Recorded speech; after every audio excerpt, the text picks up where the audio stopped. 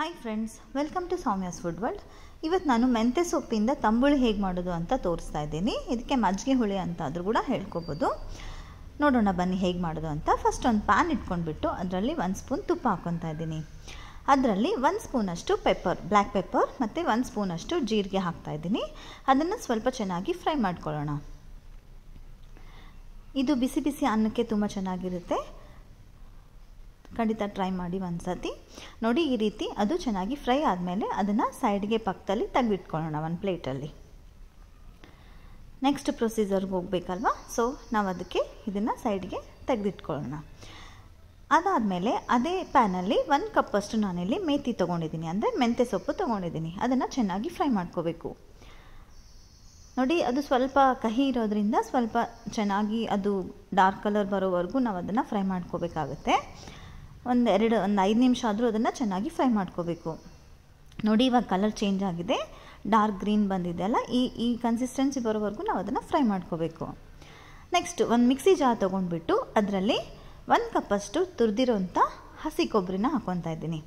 ಮತ್ತು ಒಂದು ಎರಡು, ಮೂರು ಎಸಳಷ್ಟು ಬೆಳ್ಳುಳ್ಳಿ, ಮತ್ತು ರುಚಿಗೆ ಎಷ್ಟು ಬೇಕೋ ಅಷ್ಟು ಉಪ್ಪನ್ನು ಹಾಕಿ ನೆಕ್ಸ್ಟ್ ಬಂದುಬಿಟ್ಟು ನಾವು ಅರಿಶಿನ ಪುಡಿ ಹಾಕ್ಕೊತಾ ಇದ್ದೀನಿ. ನೆಕ್ಸ್ಟ್ ಫ್ರೈ ಮಾಡ್ಕೊಂಡಿರೋಂಥ ಜೀರಿಗೆ ಮತ್ತು ಮೆಣಸು. ಅದಾದಮೇಲೆ ಮೆಂತ್ಯ ಸೊಪ್ಪನ್ನು ಹಾಕ್ಕೊತಾ ಇದ್ದೀನಿ.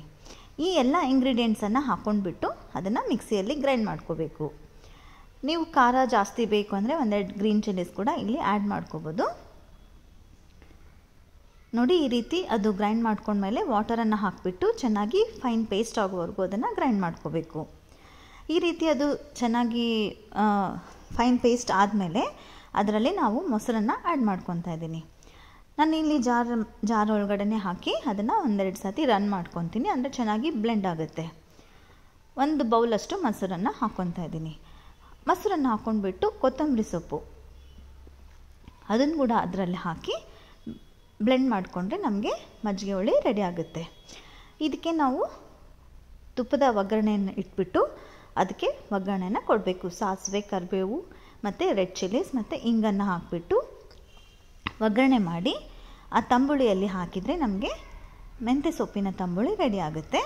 ನಿಮಗೆಲ್ಲರಿಗೂ ಹೇಗೆ ಅನಿಸ್ತು ಅಂತ ಕಮೆಂಟ್ ಮೂಲಕ ತಿಳಿಸಿ. ಹಾಗೆ ನನ್ನ ವಿಡಿಯೋ ಇಷ್ಟ ಆದರೆ ಲೈಕ್ ಮಾಡಿ. ನಿಮ್ಮ ಫ್ರೆಂಡ್ಸ್ಗೆಲ್ಲ ಶೇರ್ ಮಾಡೋದನ್ನು ಖಂಡಿತ ಮರಿಬೇಡಿ. ನಾನು ಪ್ರೀವಿಯಸ್ ವಿಡಿಯೋದಲ್ಲಿ ಇನ್ನೊಂದು ರೀತಿಯಾಗಿರೋಂಥ ಮಜ್ಜಿಗೆ ಹುಳಿನ ರೆಸಿಪಿ ಶೇರ್ ಮಾಡಿದ್ದೀನಿ. ಅದರ ಲಿಂಕ್ ಬೇಕಿದ್ರೆ ನಿಮಗೆ ಕಮೆಂಟ್ ಸೆಕ್ಷನಲ್ಲಿ ಕೊಟ್ಟಿರ್ತೀನಿ, ಒಂದ್ಸಲ ಚೆಕ್ ಮಾಡ್ಕೊಳ್ಳಿ. ಅದು ಕೂಡ ತುಂಬ ಚೆನ್ನಾಗಿರುತ್ತೆ ಟೇಸ್ಟ್ ಖಂಡಿತ ಟ್ರೈ ಮಾಡಿ. ನಿಮಗೆಲ್ಲರಿಗೂ ಈ ವಿಡಿಯೋ ಇಷ್ಟ ಆಗಿದೆ ಅಂದ್ಕೊಂಡಿದ್ದೀನಿ ಇಷ್ಟ. Thanks for watching my video friend